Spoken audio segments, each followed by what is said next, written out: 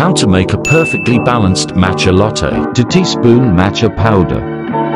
Sift. 1 teaspoon sugar. 60 ml warm water. Whisk. Add ice. 120 milliliter milk. Enjoy. Check out our page for more tips.